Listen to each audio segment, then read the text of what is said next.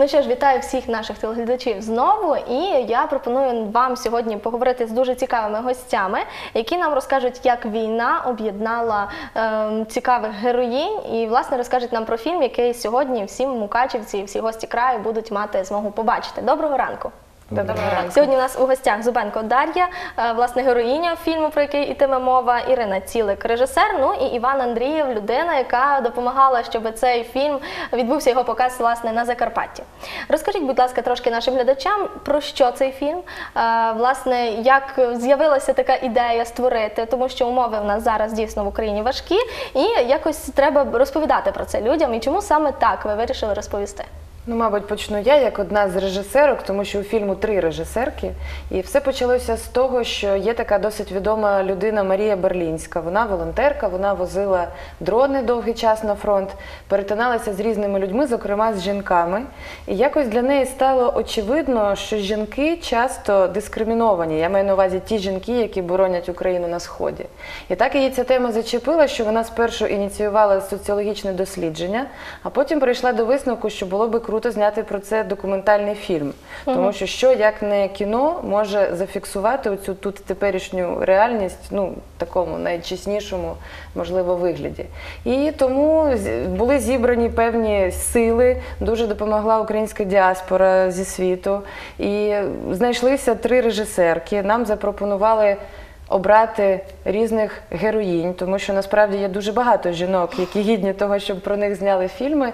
Але зрештою ми зупинилися на шести різних дівчатах, жінках. Це е, люди різного жінки віку, соціального статусу, професії. І таким чином ми зняли шість короткометражних історій, які склали. Такий альманах, ну тобто і певною мірою представляють палітру от того жіноцтва, яке сьогодні захищає Україну. Чи могли б ви трошки нам про героїнь розказати? Які там історії? Е, власне, шість героїнь. Власне, ми зараз будемо детальніше з вами говорити про вашу історію, але хочеться почути про всіх. Ну я дуже коротко так, Так, охарактеризую. Ну, скажімо, я знімала дві історії. Одна з них про Тайру, це відома парамедичка Юлія Паєвська.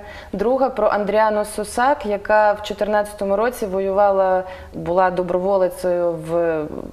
В батальйоні Айдар була штурмовичкою, що досить незвично Для і дівчини. Для дівчини так, але ця тоненька дівчина насправді така смілива, така хоробра і така чиста душею, що особисто на мене її історія якось ну дуже справила велике враження. Також у нашому фільмі є історія ще однієї парамедички Дар'ї Зубенко. Є історія. ем, Жінки це така особлива, може найтяжча навіть історія Оксани Якубової, яка три роки займалася власне роботою з особовим складом і мала досить тяжкий посттравматичний синдром після повернення до мирного життя. Ну, ви, якщо подивитеся фільм, то я думаю, що її історія справить на вас дуже сильне враження. Також у нас є історія Олени Білозерської снайперки і другої снайперки Юлії Матвієнко з позивним Білка. Ну, дійсно, звучить уже, знаєте, так, що жінки на війні, і ось ми слухаємо, які вони сильні, сміливі, і будемо мати в цьому змогу переконатися. Ось, власне, е, пані Дар'я, хочеться поговорити з вами. Як ви погодилися на те, щоб розповісти свою історію, е, пережити це? Мені було трошки складно погодитись, тому що в першу чергу я не вважаю мій досвід якимось там видатним чи особливим. Тобто таких, як я, насправді дуже багато, і дуже багато таких, які набагато більше зробили, набагато довше були на передовій, набагато більше бачили і дійсно рятували життя неодноразово. Але я розуміла, що не кожна, по-перше, погодиться про це розказати. Е, І по-друге, якщо я навіть піду і розкажу, це не буде якась особлива героїчна історія, це буде просто частина такого собі е, пазлу, з якого складається картинка всієї цієї війни. І я подумала, що кожна історія по-своєму є е, важливою і. Якщо знімуть ще там сотню фільмів про війну, там напишуть багато книжок, і всі ці історії потрошку війдуть у цю е, картину, то врешті ми матимемо досить повну картину. І щоб знову ж таки люди не бачили тільки якихось особливо героїчних людей, там видатних, а бачили звичайних людей, то це буде найбільш правдиво. Тому я подумала, врешті-решт погодилася. В мене був час, я могла приділити там якісь ресурси цьому. І поговоривши з Марією Берлінською, з режисеркою з Аліною Горловою, я врешті прийняла рішення, що я можу це зробити, я можу взяти в цьому участь. Ну а взагалі, ось як війна потрапила в ваше життя? Ну, вона потрапила в життя всіх нас в якійсь мірі, тому що всі, кому не байдуже, що відбувається, вони вже були в якійсь мірі залучені до е, хоча б через телевізор, хоча б через інтернет, через новини. І багатьох людей зачепило особисто, тому що до них е, доторкнулася війна через їх там родичів, друзів, знайомих. Хтось там був, хтось там взагалі когось втратив близького, і це найгірше. Е, тому е, я просто деякий час як то кажуть, сиділа, спостерігала, так і розуміла, що я не можу нічого зробити, як, е, наприклад, волонтер. Я не маю там багато грошей, я не вмію їх заробляти так добре, щоб допомагати ресурсами. Е, я ну мене, мене не вистачає на те, щоб, наприклад, суміщати роботу там і якусь роботу там в тих самих госпіталях і так далі. Я розуміла, що все, що я можу, це просто дати свій час і свої сили безпосередньо туди. Ну і просто було таке відчуття, що от я там маю бути, що я там зможу бути корисною. І це відчуття в мені росло до того часу, поки ми. е, З моїми подругами двома не потрапили на прем'єру фільму е, Леоніда Кантера Добровольці Божої чоти. Ві- Ми подивилися. Це був фільм якраз про правий сектор, про 14-й рік. Він нас дуже вразив. І от, ну знаєте, це було таке відчуття, що ти дивишся на те, на, на ті картини і на те місце, де ти себе бачиш. І після того вже було остаточно прийнято рішення, якимось чином потрапити на фронт. Мгм. Вибачте, я просто не знаю, чи є у вас діти. Ні, немає. Угу. Тому ось це було мені дуже цікаво, тому що е, якось чи би це стримувало вас? Я згодна, що ну жінки, які мають дітей, ну мені важко судити, тому що мені здається, що це дуже важливий стримуючий фактор, і важко прийняти рішення, тому що і тут відповідальність, і Так. там відповідальність. Але ну як можна сказати, що мене особливо так нічого не тримало від того, щоб піти туди. І, Відповідно, я пішла. Зараз ми будемо ще з вами говорити про зйомки фільму трошки, але перед тим, власне, про організацію на Закарпатті. Чому вирішили саме цей фільм показати? Чому героїні самі завітали на прем'єру саме тут? Ну, чому? У нас був договор, ну, до мене звернулася Тетяна Кубан і попросила допомоги розповсюдження рекламу і дати можливість е, ну, першоначально прочитати, про що фільм буде йти. Само собою, я не бачив фільм особисто, але я не відмовив, тому що це все ж таки ми побратими і ми повинні один одного підтримувати. Угу. Е, і цікаво те, що люди матимуть змогу подивитися безкоштовно цей фільм, тобто це з благодійною метою. Так. А чому саме у Мукачеві, в Ужгороді, чому не у менших містах? Ну, ми, Багато хто не зможе сюди приїхати, наприклад, подивитися. ну, напевно, трошки можливості немає, тому що не всюди є така апаратура, проектори, як є тут. Ну, насправді І ми, Ужгороді. е, як сказати, е, відкриті до е, пропозицій, скажімо так. Ну, це, звісно, треба звертатися безпосередньо до продюсерів фільмів, але е, якщо в якомусь місті, там навіть невеликому, є люди, які готові взятися за організацію, і є запит на цей фільм, тобто є бажаючі, багато бажаючих подивитися, то можна спланувати і організувати показ. Просто це потрібно робити заздалегідь, бо у кожного якби свої задачі, свій графік роботи, і потрібно якось е, це все узгодити між собою. От, наприклад, на цей показ змогли приїхати ми з Ірою, на інший показ може приїхати хтось інший. Ми просто хочемо їх робити не просто от. Як сказати, прислати фільм, щоб люди подивилися, і все. Ми хочемо дійсно, щоб можна було поговорити з людьми. Щоб люди усвідомили, про що вони Щоб подивилися. е, могли задати питання безпосередньо тим, хто має стосунок до його створення. І е, які, якийсь такий діалог має відбутися. От як вчора відбулося в замку, мені дуже сподобалося. Насправді люди настільки з такими зацікавленими живими очима гарячими, що мені я просто була вражена, наскільки їм це е, їх це зачепило. От Було, було таке відчуття, що це не наіграно якось, це, це все по-справжньому. Їх по-справжньому вразив фільм. Це було дуже приємно. І було приємно цей фідбек відчути, і самі, самим от нам з Ірою трошки розказати щось цим людям особисто, сказати їм подякувати за те, що вони е, приділили свій час, за те, що вони не байдужі.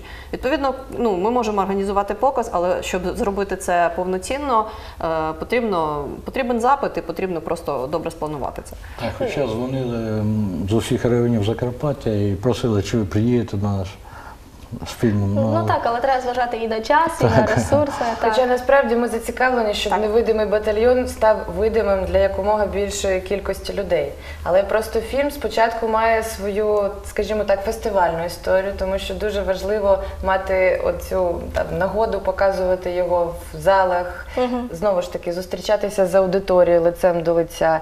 І зараз фільм подорожує. Він вже об'їхав різні країни. Він в Україні був в багатьох містах, але звісно, трошки пізніше фільм буде викладено в мережу, щоб його Ну, змогли вже побачити всі-всі-всі. Ну і зараз найцікавіше це власне про зйомки. Ось я поза кадром помилково назвала вас акторкою. Ви мене так виправили, що ні, тут немає акторів, тут героїні, тому що це документальний фільм. Розкажіть, будь ласка, як було вам знімати із людьми, так скажімо, непрофесіоналами? Е, Чи були якісь такі складні ситуації? Чи працювалося навпаки дуже легко? Ну, я скажу від себе, я до цього проєкту документальне кіно не знімала. Я знімала виключно ігрові фільми. І тому це також був виклик, тому що документальні З фільми. дебютом вас. Дякую, але насправді це досить складно. Це велика відповідальність перед тими людьми, за чиї історії ти берешся. Тому що ми. Три режисерки хотіли зняти наші історії дуже чесно, тобто зафіксувати цю реальність так, як ми її бачимо, в такому ну, вигляді. Але все одно це завжди вибір, починаючи від того, що знімати, як, куди повернути камеру, як це змонтувати. Тобто ти все одно конструюєш так чи інакше цю реальність. І коли ти маєш справу з живими людьми, з їхніми історіями, з їхніми там проблемами, страхами, мріями, то це дуже тонка межа, дуже страшно, знаєте, зробити невірний крок. І знову ж таки, ти маєш знайти ключик до кожної з цих е, героїнь, тому що ці люди, ну їхня реальність зараз вона дуже специфічна. Дехто з них вже повернулися до мирного життя, інші досі воюють, і все одно приїжджаючи туди, скажімо, на передову або там, де вони працюють зараз. Е, ну, ти почуваєшся певною мірою туристом. Я маю на увазі от наші там команди, режисер, оператор, звукорежисер. Але ми, звісно, намагалися от знайти оцей там, ну, побудувати от якісь такі гармонійні стосунки між нами. І, скажімо, першу історію ми знімали про Тайру парамедичку. Ми тоді приїхали до неї. Вона працювала біля от Світлодарської дуги. І 9 днів, от я зі своєю групою, ми просто намагалися разом з нею відчути, на що схожі її будні, як вона просто прокидається, п'є каву, на що схожий її день, і як все дуже швидко змінюється в той момент, коли починається власне робота. Коли от вона розповідала, каже: я сплю ча- завжди вдягнена, берці поруч, все зібрано. Один дзвінок, вона просто за там дві хвилини вже сідає в машину, і тут від її швидкості, від вправності її команди Дуже залежить власне залежить, життя так. людей. Тому що доправити поранену людину з передової в руки професійних лікарів.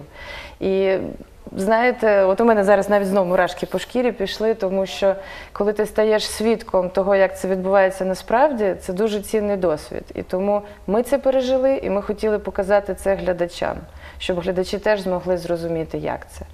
Тому я так розумію, це фільм без сценарію. Просто. Ну, як? Ну, До- сценарій є вже після того, як ви все вивчили. Вивчили їхнє життя, все, все, все, і тоді ви вже вирішили об'єднати ці історії. Але як я потім дізналась, е, героїні не були знайомі між собою майже, і якось дійсно війна об'єднала. Тобто ви познайомилися, чи зараз у реальному житті ви товаришуєте, якось зідзвонюєтесь, списуєтесь? Е, Ну, зараз ми, можна сказати, е, продовжуємо якусь спільну діяльність. Е, Ну, я почну спочатку. Ми, по суті, були знайомі до фільму тільки з Оленою Білозерською, тому що ми обидві були в правому секторі і перетиналися на одній базі, і на війні також перетиналися. Плюс я її знаю трошки як журналістку, як публічну людину, активістку. От з усіма іншими ми знайомі не були.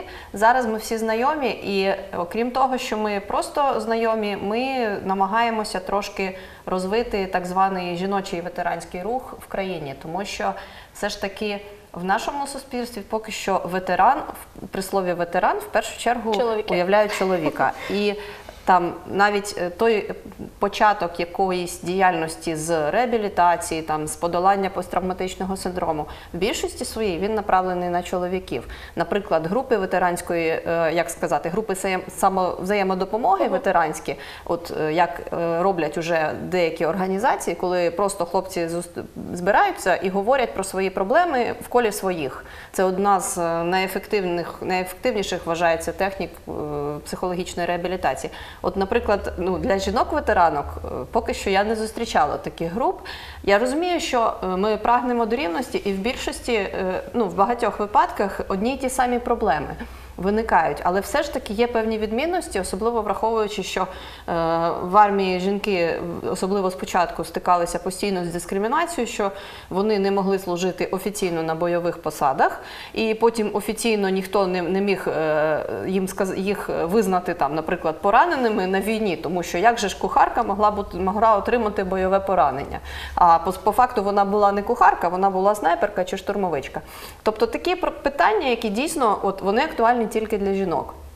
І зараз ми плануємо якось трошки цей рух е, розвивати, щоб жінки-ветеранки мали куди звернутися за допомогою, і щоб вони відчували теж якусь таку, е, якесь таке коло своїх, там, де можна поділитися своїми е, історіями, своїми проблемами. Уже там є певні групи в Фейсбуці там створені, і вже була був такий установчий з'їзд цього ветеранського руху. Я думаю, оцей фільм це також ну, частина того, на основі чого ми потім далі будемо будувати це все. Ну а дивіться, ось реакція вже є на цей фільм. Власне, він про жінок, і більша реакція йде звичайно від жінок. Вони, я так розумію, підтримують, що ось жінки це немало важливі такі е, складові війни, тому що вони дійсно допомагають. Якби не жінки, то хто б лікував чоловіків, хто б їх там годував? Дійсно, це так. Але яка реакція чоловіків на цей фільм? Це ж залежить від кожної Дуже конкретної людини. Знаєте, як каже теж наша от е, Марія Берлінська, що війна це не жіноча справа, не чоловіча і власне не людська. От у нас навіть ця фраза так є. Чи моя я- фраза, це твоя була фраза? Може, я вже навіть заплуталася. Ну, Але одне слово, що е, жінки. Чоловіки це всі різні люди, і обмежувати можливість жінок служити для там на благо своєї країни, так захищати свою країну лише через питання статі, це ну просто якесь, я не знаю, ну Середньовіччя. Абсолютно. І власне про це йдеться, тому що знову ж таки, звісно, далеко не всім жінкам місце на війні, але і деяким чоловікам там так само не місце. І тому наш фільм ну значною мірою і про це також. Тому що от е, зачепила Дар'я цю тему, я якось от нічого не сказала про дійсно е, багато бойових посад досі закриті для жінок. Хоча за останні роки дещо змінилося, був розширений список. І от та ж наша героїня, наприклад, Андріани, про яку я знімала, я не сказала дуже важливий момент. Вона була штурмовичкою де-факто, але за документами вона була швачкою. І ви розумієте, ну що це означає? Це означає, що у тебе там не та зарплата, не ті пільги, не ті можливості рівні, так? Тобто ти воюєш на рівні зі своїми побратимами, вони тебе поважають. Ну бо тому, що от ви питаєте, як чоловіки ставляться. Адекватні чоловіки адекватно ставляться. ще Ну, додам, ті, хто воювали разом з жінками, з такими, от вони Так, з великою Знають, про що повагою. говорять, да. Ну так. Але вона при цьому за документами була швачкою. Тому, ну, власне, проти таких ситуацій ми теж воюємо, умовно кажучи. А чи зіштовхувалися ви з такою жорсткою критикою, коли казали, наприклад, ті ж самі чоловіки могли сказати, що «Та це не так, вони там нічого Так. не роблять, ті жінки. Так. Я стикалася, коли у нас був показ в Мар'їнці е, взимку, якраз були е, кілька військових там запрошені, і один з них після фільму встав і прямо сказав: Ні, я вважаю, що все одно, що ви груз, що ви обуза, що вам там за вас потрібно все робити. Я слухаю його, розумію, що він просто живе трошки в іншому світі. І так, я згодна, що є жінки, які дійсно поводять себе так. Це ну це не було придумане десь з голови з неба, тому що є жінки, які дійсно приходять в армію і е, продовжують себе поводити гарна так, як в цивільному житті, тому що ну я ж дівчинка, я не буду грузити ці, ці важкі ящики, і там я не буду там що, щось там ще робити. Е, Я не ну, буду це, з автоматом, понесіть мене і його. Ну, це дуже якби грубо, але так. Є такі дійсно, які так себе поводять. І це найгірше, тому що вони формують якраз той стереотип про жінок. І потім ти приходиш в армію і на тебе дивляться, ніби ти так само будеш себе поводити. І тобі треба довести. От поки ти не почнеш робити все, ну тобто найкращий спосіб це просто брати лопату і, наприклад, чистити сніг. І тоді всі розуміють, що да, вона щось може робити. Яке ж потім у чоловіків або ти потім, або ти, наприклад, проводиш тренінг по тактичній медицині, і ти там даєш трохи фізухи, і ти розумієш, що хлопчики вже там помирають трошки, а ти стоїш собі в планочці там з ними разом і нормально все. От. І вони тоді починають розуміти, що все-таки є виключення. Хоча це насправді має, має пройти дуже багато часу і дуже велика робота повинна бути з усіх боків. І з, усі, і з, бок, з боку самих чоловіків, і з боку самих жінок. Тобто ті самі командири вони не повинні давати поблажок. Якщо жінка йде на посаду гранатометниці, то вибачте, хай вона працює на цій посаді, і хай вона там, як то кажуть, копає собі позицію під АГС, якщо це її задача. А якщо вона не хоче виконувати задачу, то будь ласка, йди собі працювати тією самою швачкою. Ну не питання. Дійсно, це ж не примусово. Так, відповідно, все має бути е, відповідно до е, професійних якостей і до бажання самої людини. Ось Але пане все потроху змінюється. Ви знаєте, от ми були у нас були тур Канадою, і ми там теж от разом з двома героїнями зустрічались, скажімо, з канадськими військовими жінками. І вони між собою обмінювались досвідом, а як у вас, а як у нас. І теж була фраза, яка мене зачепила. Оці дівчата з канадської армії сказали: ви знаєте, 20 років тому у нас теж багато в чому було все так, як у вас зараз. Але з іншого боку, Підкололи. для нас це все нове. Ну тобто зараз на наших очах формується цей і організм армії, так і тобто ми своїми руками, ми ну я маю на увазі ті, хто це роблять. І здатні от змінювати правила гри, тому що ще нещодавно взагалі не було ніякої професійної армії в Україні. Зараз дуже швидко. Ну ці там є люди, які здатні дійсно перемелювати все і змінювати Змінити на своє краще. життя, дійсно. Тому А ось пане Іван, у мене таке до вас питання. Ось так у компанії дівчат. Чи насмілитеся ви сказати, що все ж таки дівчата не виконують такої визначної ролі? Е, Виконують. І, і, Навіть якщо не вони там виконують, потрібні переконали. Дійсно, е, і я бачив таких, які набагато краще виконують все, ніж ми, чим мужики. Це було дійсно трошки непривично. Але все ж таки вони потрібні. В армії вони потрібні. Ну, ось це головне, що ми хотіли почути, напевно, коли робили Женщина цей дуже фільм. чоловік. Так? Визнали. так. А чи є у вас е, вже думки щодо наступних, можливо, частин фільму? Оскільки ви сказали, історій багато, і чи немає ще якоїсь такої ідеї? Ну, я вам скажу, що з однієї з цих історій, от з шести, взагалі народився повнометражний фільм. Аліна Горлова знімала от історію цієї старшої жінки з ПТСРом. І зрештою матеріалу було так багато, що з цього ну, потім було змонтовано повнометражну картину. Чи будемо ми далі продовжувати саме там цю лінію зйомок? Не знаю, навряд чи. Хоча хто зна, ну на даному етапі я просто знімаю вже зовсім інший документальний фільм про життя цивільних людей в зоні.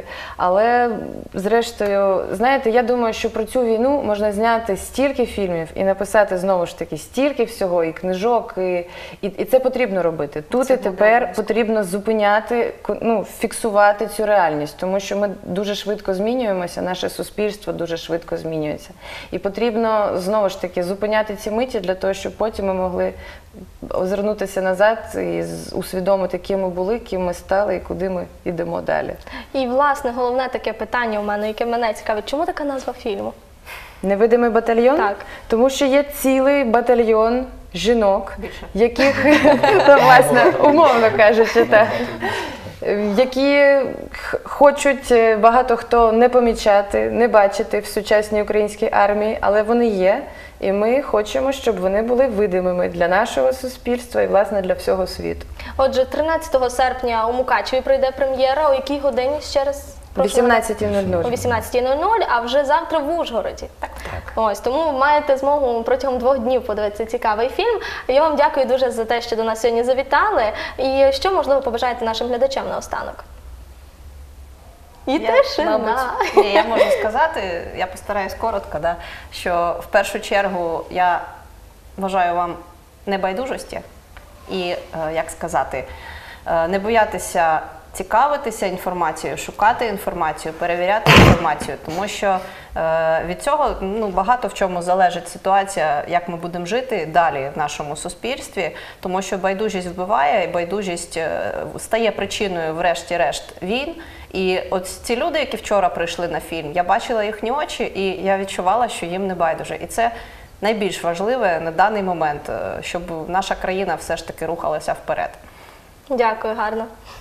Я скажу так, я дуже багато їжджу Україною. У мене часом бувають такі моменти, що ще вчора я в Красногорівці, наприклад, а там вже сьогодні на Закарпатті. І за останні от роки я мала багато можливостей переконатися, що Україна, звісно, дуже різна. Всі наші регіони багато в чому не схожі, але дуже багато чого спільного. І тому ну, багато чого є надуманим про нашу цю там, та що ми, ми такі різні, і як же нам насправді нема чого ділити, нам треба бути разом. І мені хочеться побажати глядачам і всім нам собі. Бути відкритими до діалогів, до чогось нового, намагатися, навіть якщо ну там іноді визнавати те, що там можливо я жертва стереотипів, можливо, мені варто поїхати самій особисто, там в той чи в той регіон, познайомитися з простими людьми, які там живуть, послухати там на власні вуха, побачити на власні очі їхнє життя і переконатися знову ж таки, що Україні нема чого ділити. Ми всі можемо бути разом і гармонійно співіснувати. Дякую, гарно. Я бажаю миру нашій землі, Україні. І сам, найсамоголовніше побратимам е, підтримуйте один- один одного, думайте, е, дзвоніть, пишіть, не забувайте нікого, тому що ми є одне ціле і ми повинні думати про себе.